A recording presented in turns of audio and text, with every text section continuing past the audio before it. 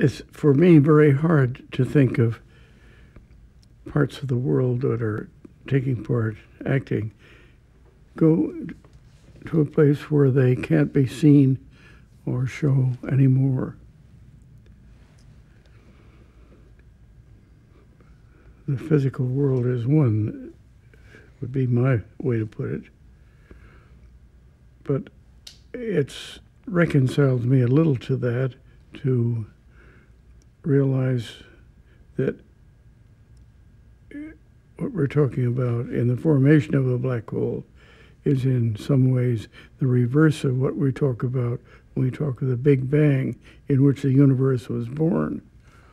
A lot of physical activity coming out of a region where there is no physical activity to begin with. Well, we're very far from being able to deal with these ultimate questions in a truly satisfactory way now. Uh, I would put the question in its largest form this way How come existence? How come that there is anything at all? And the black hole is a standing invitation to consider that issue because it says you've got something going to nothing. Well, then, how do you get out of nothing something? How do you turn it around?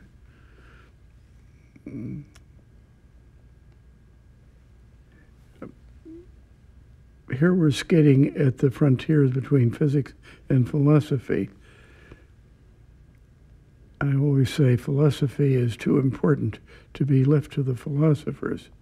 But it's one thing to say that, and another thing to see what philosophical idea will carry us through this new frontier of mystery that faces us now with renewed force.